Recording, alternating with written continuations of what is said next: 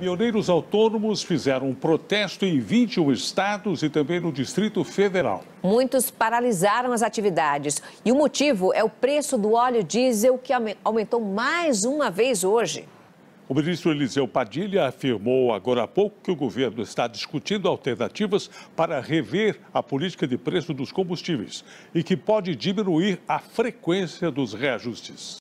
A polícia investiga o sequestro de um casal de pesquisadores da Universidade Federal do Rio de Janeiro que foi levado por bandidos quando chegava para trabalhar. Somente este ano já foram registrados seis casos de sequestros relâmpago na Ilha do Fundão, onde fica a universidade.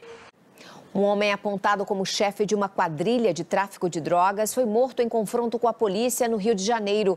O suposto substituto dele foi preso na mesma operação.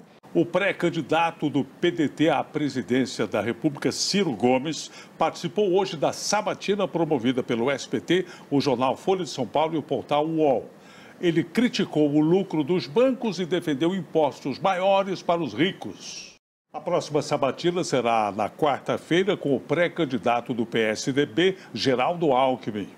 Portugal notificou hoje o governo brasileiro da extradição de Raul Schmidt. O empresário é réu na Lava Jato e apontado pelo Ministério Público Federal como o fugitivo com maior patrimônio desviado dos cofres públicos brasileiros. A partir de hoje, os pedidos de aposentadoria por idade e de salário bater de idade somente poderão ser feitos pela internet ou por telefone.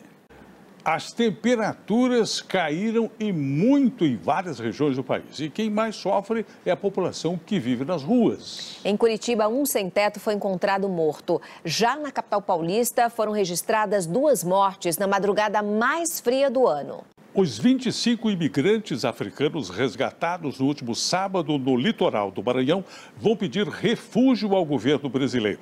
A Polícia Federal investiga se eles foram vítimas de uma quadrilha de tráfico internacional de pessoas. O Brasil e pelo menos outros 16 países afirmaram que não reconhecem o resultado da eleição presidencial na Venezuela. Irã, Rússia, Cuba e Bolívia parabenizaram Nicolás Maduro pela reeleição. A reportagem é de Patrícia Vasconcelos.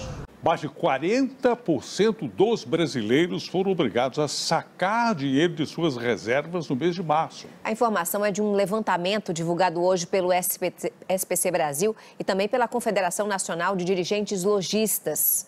Os jogadores da seleção brasileira começaram a se apresentar na Granja Comaria, em Teresópolis, para a primeira fase de preparação para a Copa do Mundo.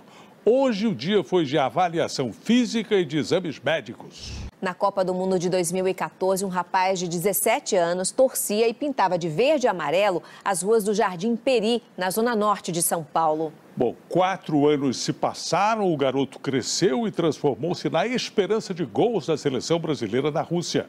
Conheça agora a carreira meteórica de Gabriel Jesus. A comissão técnica da seleção brasileira ganhou um apoio de última hora. Quatro pessoas foram escaladas para espionar possíveis rivais do Brasil.